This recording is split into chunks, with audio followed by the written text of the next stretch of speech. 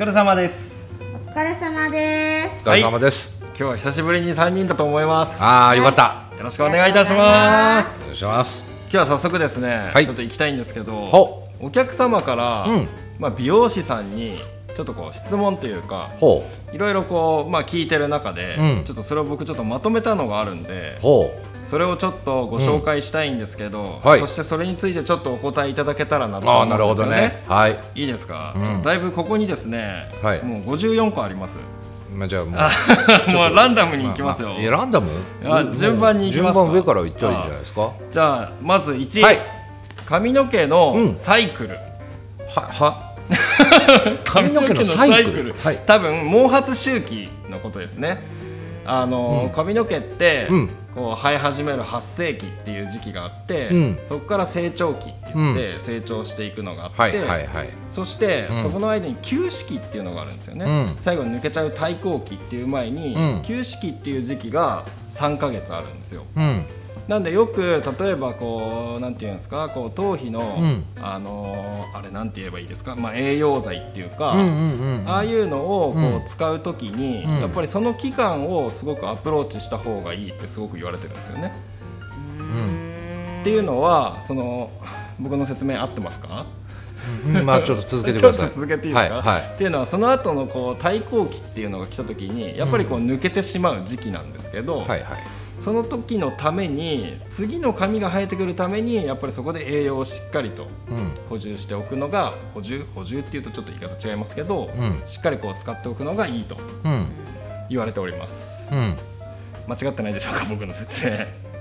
でうん、で結局質問が何なの？なんか今自分で勝手に言って答え始めたからあそ,、ね。もそもの質問は何だったいやっけそもそもその髪の毛がうん。やっぱりこう特にこうこの時期になってうん。すごくこう抜ける気がするっていうお客様がいらっしゃるんですよね、はいはいやっぱり年間を通してっていうところでえそうなんですよ。えはい。で周期は？だからか 要は髪の毛っていうのは生え始めてからええ。おおむね78年で抜けるって言われてるわけですよね。はいはいはいはいだから抜け毛っていうのはつまり生えてから78年経った毛がうんねうん。渡辺さんが言うところの対抗期に入ってうん。えー抜けると。そうですね。いうことですよね。そういうことです。はい。はい。だから抜け毛自体は 78年で起きますと。はい、うん。そうですね。ね。ありがとうございます、うん。そういうことです。うん。はい、はい。なんかちょっと質問と答えがいまいち渡辺さんからも勝手に喋り始めたからそうですね。いまいちあれですけどね。はいはいはい。そしてですねこれもだいぶちょっと大きいですけど、はい。ダメージの要因はいはいはい。となるものはうん何が挙げられますかと、まあ物理的なダメージとね、はい。い、わゆるストレスとかっていうこう内向的なはい。原因とかね、はい。うん、こう髪のダメージっていうのもまあ捉え方ですからね、まあ、うん物理的なことで言えば当然、えーカラーをしたり、はい。えーパーマをかけたりってことで髪の毛のこう表面というかね、うん。まあ、髪の毛そのものに負負担をかけるとうん。いうダメージ、はい。うん、厳密に言えば毎日シャンプーをするのもこう基本的にはダメージの原因ではあるんですけどね。はいはいそうですね。うん、、であとはブラッシングしたりすれば摩擦のダメージとか、はい。えーまあその髪の内部、まあ、カラーやパーマの髪の内部による、うんえー負担はい。っていうのもありますし、はい。まあ、ストレスなんかを受けるとそのいわゆる毛髪の、はい。えーいわゆるさっき渡辺さんが言ったね、はい。こう発毛うん。促進の部分で、うん。まあ、血流が悪くなったりして、うん。まあ、いい髪が育たないという意味ではそれもダメージの原因の一つではあろうですから、まあいろいろありますけどね、まあ、ざっくり言うと今言ったようなところでしょうかね。はい、はい。ありがとうございます、はいじゃあ続きまして、えーおすすめのうん。シャンプーの仕方を教えてほしいと、シャンプーの仕方これ今までもね何度か言前にもそうってるんでね。はいはい。まあ基本的には、はい。えーよくすすいで。はい。で頭皮をしっかりと洗って。はい。でまたよくすすいで。はい、で、えー髪の毛にトリートメント剤をつけると。うんトリートメント剤は頭皮にはつけなくていいものなのでなるべく頭皮につかないようにしてまたこれもしっかりとすすぐとはい。いうことでしょうかね。はい。うん。良いです。はい、ありがとうございます。そしてですね、つぐ続きまして、うん。シャンプー選びのポイント。はいはいはい。これも、うん。あの以前もちょっとだいぶ前になっちゃうんですけど、ん。動画でも少しご紹介させたことがご紹介、えーさせていただいたことがね。そうさせていただいたことがええあるんですけども、はいはい。やっぱり今あこれ僕答えていいですか？シャンプーですか？はい。はい、じゃあ簡潔に、はい。あのやっぱりこう一時期こうノンシリコンノンシリコンってすごくそれがいいって言われてたと思うんですけど、まあ、やっぱりそのシリコンがもちろん入ってない方が、まあ、まあ一概に絶対とは言えないですけどよくてで今はこう一般市場でも多いんですけどアミノ酸系シャンプーと呼ばれるものがやっぱり頭皮髪に優しくてすごく、まあ、一番いいかないいかなというかと思っております。はい。はい。はい。はい、えー続きましてこれはじゃあちょっと伊藤さんに答えていただいていいですか、え？はい。えーヘッドスパの効果効能。はい。またもう一つ一緒にリンパを流すことのメリット。を教えてくださいまず一番いいのは、はい。あの血流がはい。良くなる。うん。でえっ、とリンパを流すことによって、もうこういらない余分ななんていうんだろう滞ったうん。老廃物とかもうん。流れていくからう、ん。より血流も良くなれば、うん。えっ、となんて言うんだろうお肌の張りだったりだとかツヤとか、うん。そういうところも、うん。あの改善されると思うので、うん。まずリンパマッサージはするっていうのはいいし、うん。とにかく老廃物を流すうん。のはとてもいいことだと思います。でヘッドスパはうリフトアップ効果もあるうん。し髪の毛をやっぱりふわっとさせたりとか健康に保つための土台を作るにはヘッドスパはすごく効果的だと思います。はい。はいはいということです。ありがとうございます。はい。えー続きましていきます、えーホームケアのポイントを教えてください。これざっくりしてんね。だいぶちょっとざっくりしてましたね。まあねあのーだからホームケアのポイントっつったって、はい。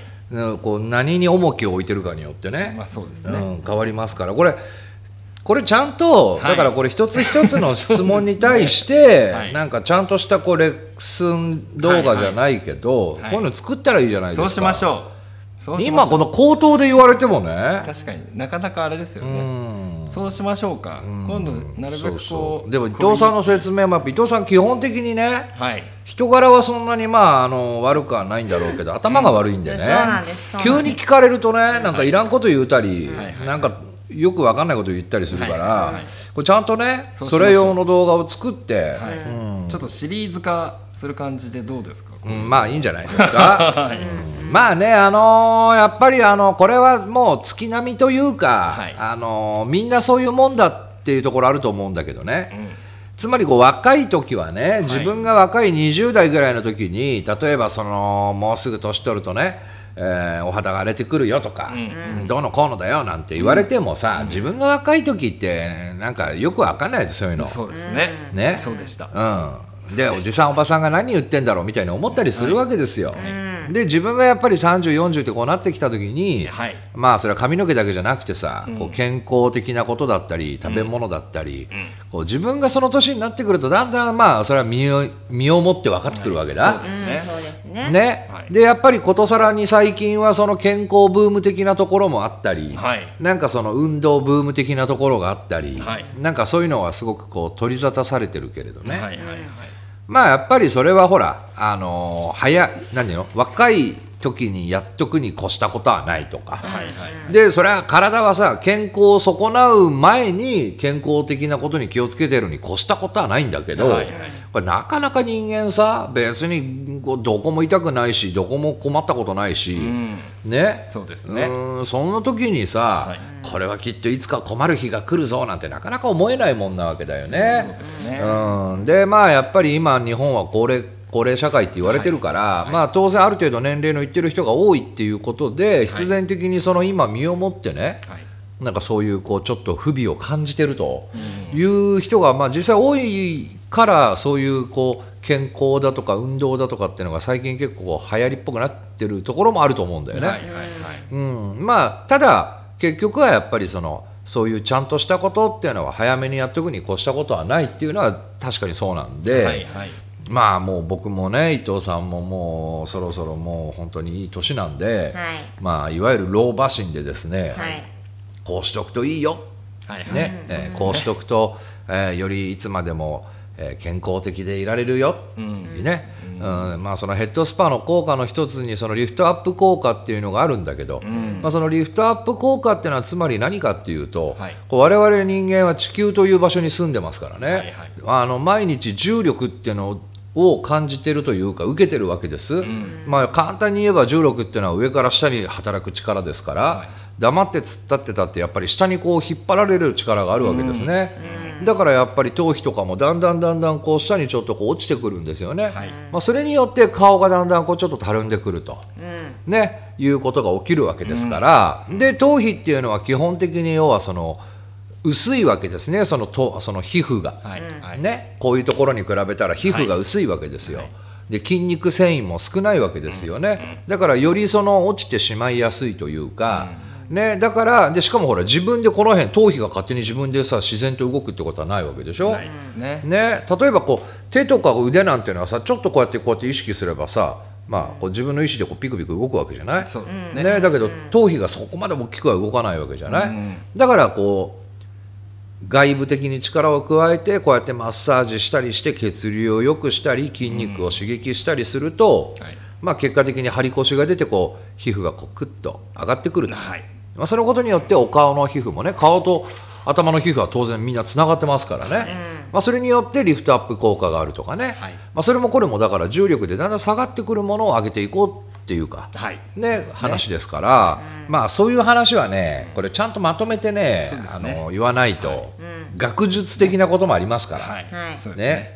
インチキくせえこと言ってんじゃねえよなんて思われるのも困りますからね。そうですね。うん、そうしましょう。まあ今度後日これはちゃんとやりましょう。はい。やりましょう。まあそうですね。そうですね、あのーまあ、当然我々は美容室ですから、はい日々お客さんからいろんな質問を受けるんですが、はい。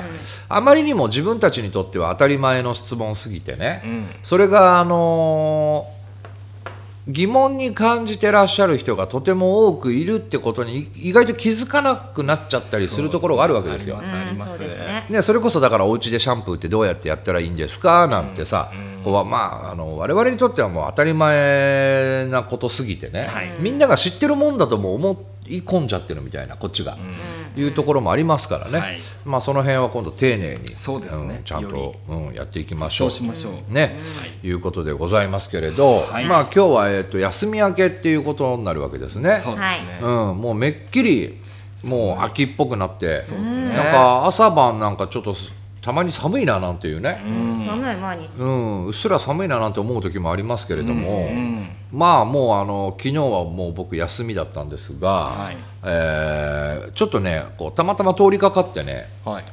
えーワークマン。ああはいはいはいはいはいはい。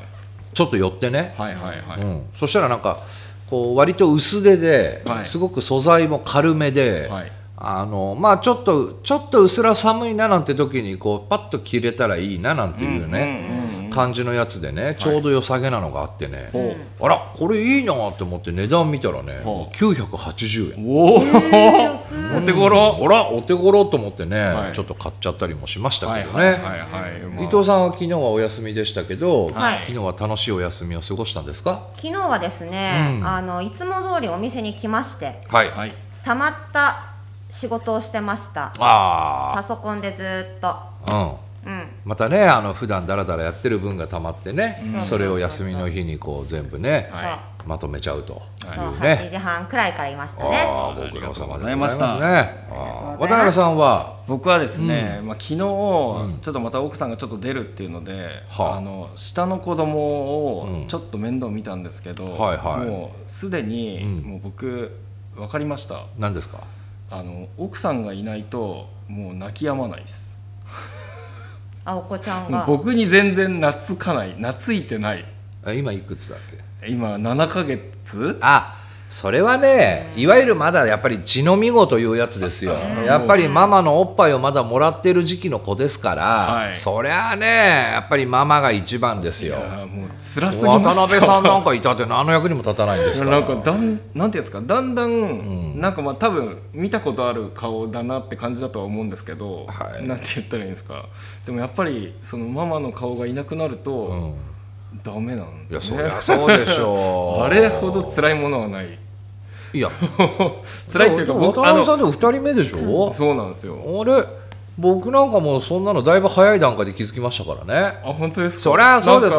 やっぱりね 少なくともまあ1歳を超えるかどうかぐらいまではね、はい。やっぱお子ちゃんってのはね、はい。やっぱママがね、うん。そりゃそうです。ママのね中から生まれてくるわけですよ、ね。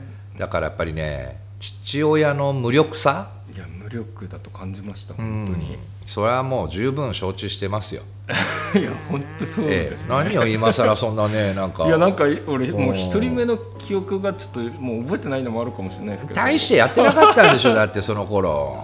まあそうでもあるのかな、うん。それはそうです。だらから改めてね、あのー奥様の大変さとねそうですその母親というもののね偉大さ、はい。うんこれをね感じてはい。だ我々男というかね、はい。我々にできることなんてのはもう本当にねあの力仕事を変わってあげるだとか ね、えーなんかそう実務的なことを変わってあげるだとかね、はい。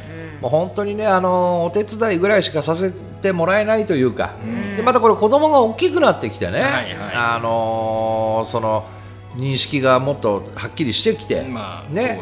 そうなんで一緒に走って遊ばなきゃいけないとか、はいはい。そういう体力ごととかね、うんうんそういうことはね力を発揮すればいい。だから今から渡辺さんはね体作りしとかないと。ついていけないです、これでお子さんが大きくなってきてね 飛んだり跳ねたりしてさばきたい時に、はい。渡辺さんがそれ体力的にきついなんて言ったらね、もう何の役に立つんだっていう話ですから。確かに。確かにそうだあそうですね。ーね留守番一つまともにできないなんて。いやすみませんできないです情けないね。できない本当に。あ辛い。